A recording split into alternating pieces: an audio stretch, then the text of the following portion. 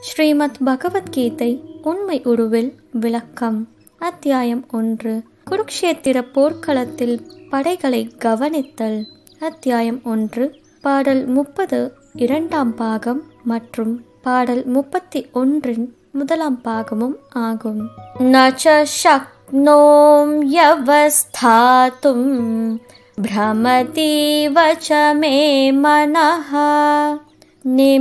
निमित्तानि च पश्यामि விபரீதானி கேசவா அர்த்தம் ந இல்லை ச மேலும் ஷக்னோமி என்னால் முடியும் அவஸ்தாத்தும் இருக்க பிரமதி மறக்கின்றது இவ போல ச மேலும் மே எனது மன மனம் நிமித்தானி சகுனங்கள் ச மேலும் பஷ்யாமி நான் காண்கிறேன். விபரீதானி விபரீதமான கேசவ கேசி என்ற அரக்கனை அழித்தவரே கிருஷ்ணரே. மொழிபெயர்ப்பு இனியும் என்னால் இங்கு நிற்க முடியாது. என் மனம் குழம்பி என்னையே மறக்கின்றேன்.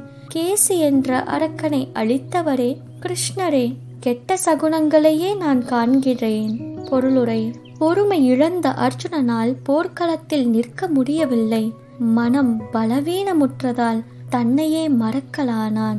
ஜடப்பொருள்களின் மீதான அளவு கடந்த பற்றுதல் ஒருவனை குழம்பிய நிலைக்கு இட்டுச் செல்லும். பயம் த்விதீயாபி நிவேஷதக சியாத் பாகவதம் பதினொன்று புள்ளி இரண்டு புள்ளி முப்பத்தி ஏழாம் பாடல். இத்தகைய பயமும் மனநிலையின் இழப்பும் பௌதீக நிலைகளால் மிகவும் பாதிக்கப்பட்டவர்களிடம் உண்டாகிறது. போர்க்களத்தில் அர்ஜுனன் துக்ககரமான விளைவுகளை மட்டுமே கண்டான். எதிரிகளை தோற்கடித்து வெற்றி பெறுவதிலும் அவனுக்கு மகிழ்ச்சி இல்லை. நிமித்தானி விபரீதானி என்னும் சொற்கள் மிக முக்கியமானவை. எதிர்பார்ப்புகளில் ஏமாற்றத்தையே காணும் மனிதன் நான் ஏன் இங்கு இருக்கிறேன்? என்று எண்ணுகிறான். ஒவ்வொருவரும் தன்னிலும் தன் சுயநலத்திலும் ஆர்வமுடையவர்களாக உள்ளனர். யாருமே பரமனின் மீது ஆர்வம் காட்டுவது இல்லை. கிருஷ்ணரின் ஏற்பாட்டினால் அர்ஜுனன் தனது உண்மையான சுயநலனை அறியாதிருப்பது போல தோற்றமளிக்கிறான்.